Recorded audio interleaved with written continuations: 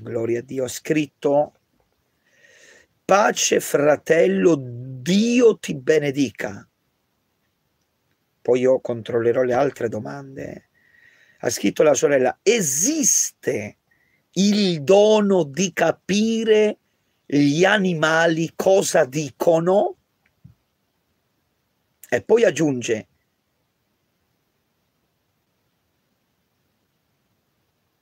nel giardino dell'Eden gli animali parla, parlavano come noi? Sicuramente la sorella sa già la risposta, alleluia, ma lei l'ha voluta esporre per eh, magari aiutare altri, alleluia. Allora, possiamo dire che biblicamente parlando non esiste nessun dono di capire cosa dicono gli animali, anche perché punto uno, gli animali non parlano. La Bibbia non dice che gli animali parlano. Solo in un caso particolare, il Dio l'Eterno, l'Onnipotente Elohim, El Shaddai, Yahweh, fece parlare un'asina per riprendere il profeta Balaam che si stava deviando. Allora Dio fece parlare un asino. Però la Bibbia non dice che gli animali hanno un linguaggio o che gli animali parlino tra di loro o che tu puoi capire cosa dicono gli animali. No, no, queste sono cose extra bibliche e bisogna stare attenti perché lì si può entrare in campi di occultismo, campi di spiritismo, di dottrine strane che non hanno nessun fondamento biblico. Gli animali non parlano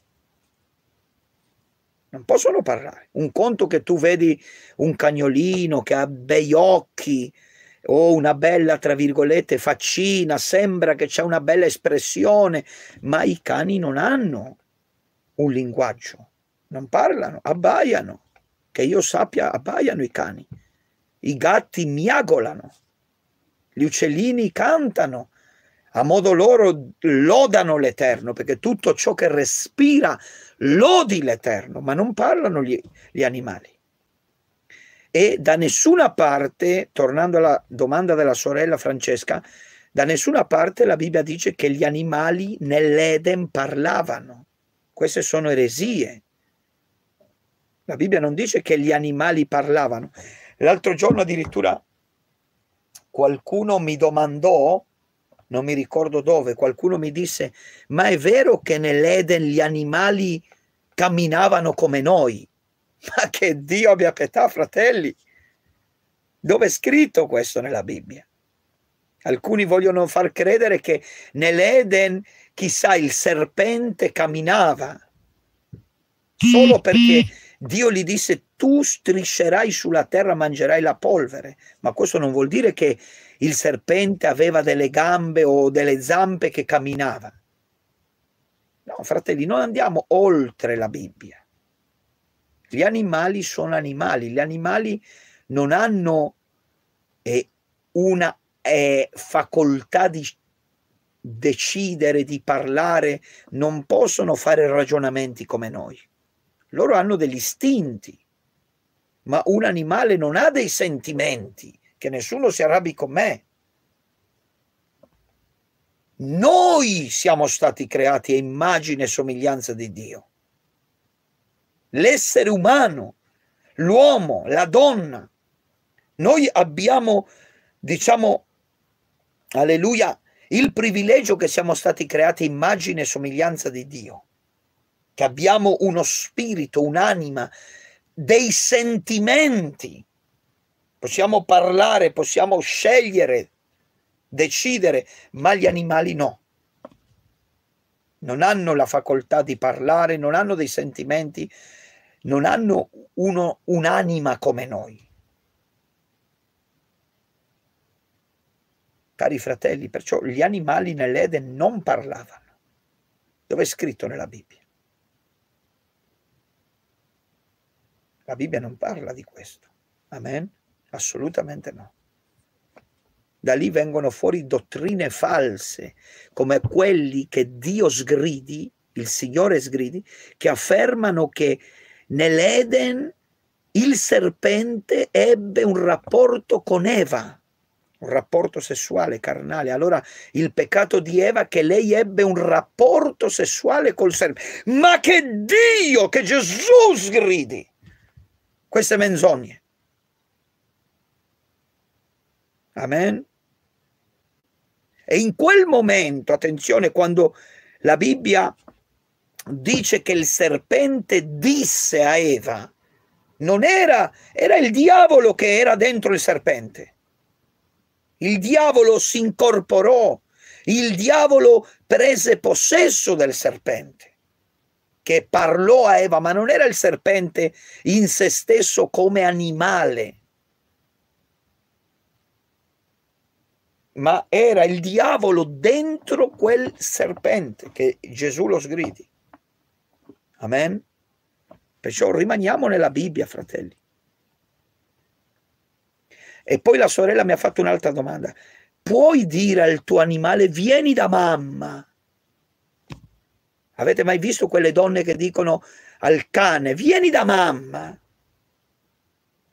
Vieni da papà, dicono alcuni, al cane, al gatto. No, questo è errato, fratelli e sorelle, perché il cane non è tuo figlio, il cane non è tua figlia, questo non è da Dio sono linguaggi sbagliati, linguaggi mondani, o addirittura dicono al cane amore, amore mio al cane. O non lo so, parlano col cane. È sbagliato. O addirittura fanno dormire il cane nel letto. Attenzione, la Bibbia dice non ti coricherai con un animale. Abacuias, mai. La Bibbia dice di non fare queste cose.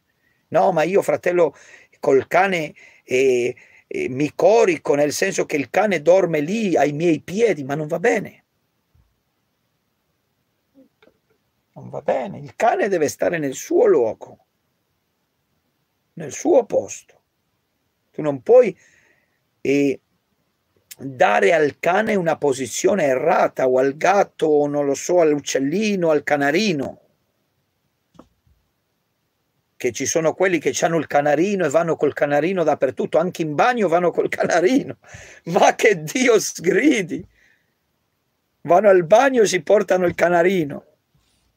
No, fratelli cari e sorelle care, anche voi inconvertiti. Dobbiamo essere saggi, dobbiamo essere prudenti, dobbiamo essere intelligenti. Oppure quelli che baciano i cani. Io ho visto persone che danno dei bacini al cane. Non è da Dio questo. Non è buono, non è gradito al Signore. Ovviamente neanche li dobbiamo maltrattare, eh, perché la Bibbia dice nei proverbi che è l'empio, il peccatore che maltratta la sua eh, bestia o il suo animale sono i peccatori che maltrattano i loro animali. Cioè, se io avessi un cagnolino, non lo posso neanche maltrattare, che gli tiro calci o gli dico parolacce, vai via di qua e lo maltratto, lo, lo, lo, eh, lo picchio. Non va bene neanche questo, ma neanche fare un'idolatria dei cagnolini o dei gattini.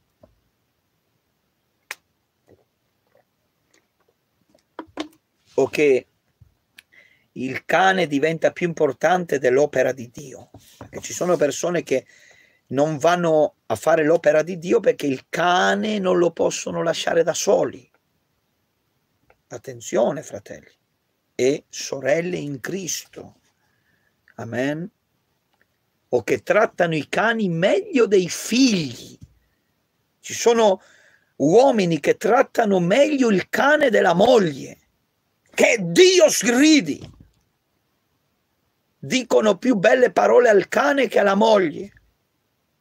O la moglie tratta meglio il cane che il marito. No, non è da Dio. Siamo nello spirito, fratelli e sorelle.